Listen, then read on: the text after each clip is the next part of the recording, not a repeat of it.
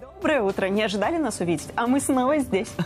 Неделя вторая. Доброе утро. В студии Павел Савченко, Анна Шамбадал. Хорошего вам дня. А, ну так что, продолжим. Многие люди в своей речи используют архаизмы, то есть устаревшие слова. Но лучше ли э, говорить обычным, нормальным языком, правильно, вот новыми словами? Может быть так? Я не знаю, но э, использование архаизмов, историзмов и книжных слов э, позволяет приблизить нашего современника к определенному историческому времени. Да, архаизмы описывают старые места, города, используются во многих познавательных книгах. Чтобы знать нашу историю, надо знать и устаревшие слова. Э, С этими словами наша речь становится ярче, разнообразнее, тем более эти слова передавались многими людьми из поколения в поколение. И многие люди, разговаривая так, э, ну они просто так разговаривают, потому что их научили, ну, Ну да. привычка, если хочешь. У нас тоже, кстати говоря, есть многие фразы, которые вошли в наш э, обиход, что мы просто не можем, мне кажется, обойтись без них. Действительно так. Сегодня у нас в гостях Андрей Силютин, заведующий кафедрой теоретического прикладного языкознания ЧелГУ. Доброе утро. Доброе утро.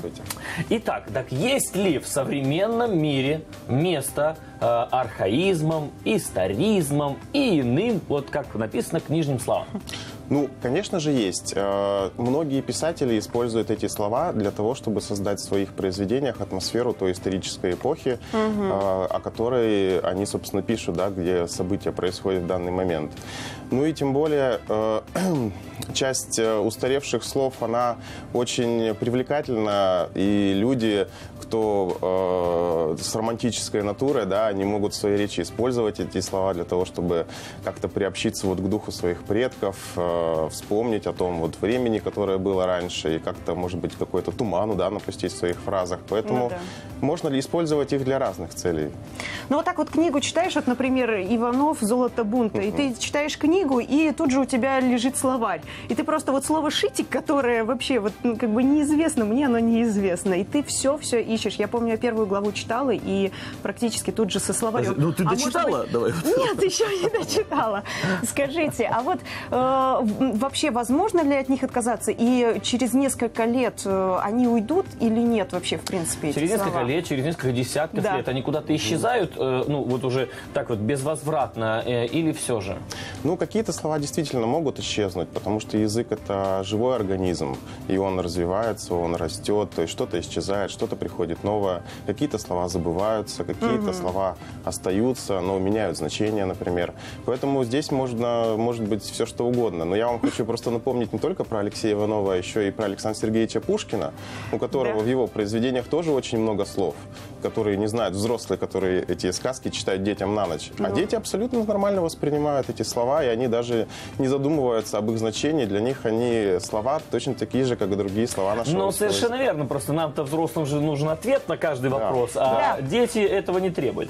А, а что касаемо новых слов, новых слов, э, заимствованных слов, ведь их становится все больше и больше, да, какие-то появляются. Э, Это вот, кстати, откуда они берутся у нас? Это действительно заимствованные слова или какие-то, э, скажем так, переделанные наши? Ну, э, в основном, конечно, слова заимствуются, потому что и в основном заимствуются из английского языка. Э, 200 лет назад, во времена Александра Сергеевича Пушкина, слова в основном заимствовались из французского да. языка, совершенно верно. А сейчас, поскольку и английский язык он стал гораздо популярнее, то заимствования идут оттуда.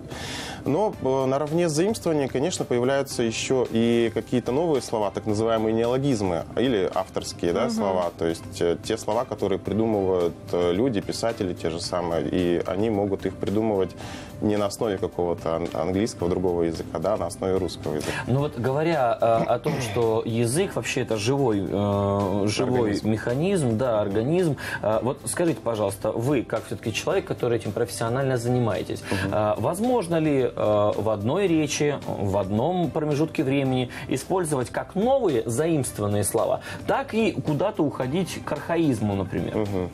Это вообще Ну, допустимо, ну я какие-то думаю, правилам. По правилам, да. Ну, есть такое э, слово, называется уместность.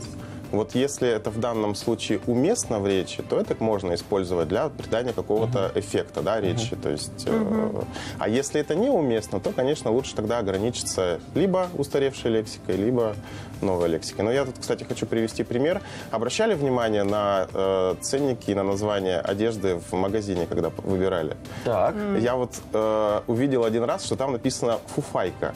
Фуфайка. Фуфайка, да, то есть то, что мы называем, например, кофта там, или свитер, да, более современным словом. Там почему-то на ценнике было написано фуфайка. Ну, то есть они тоже решили вернуться. тоже решили вернуться в прошлое, Ну, а да, и чтобы, чтобы обратить, опять же, внимание вот Возможно, купи себе фуфайку, знаешь, свитер каждый купит, а фуфайку нет. Спасибо вам огромное за ранний визит. Я напомню, что у нас сегодня в гостях был Андрей Силютин, заведующий кафедрой теоретического прикладного языкознания ЧЛГУ.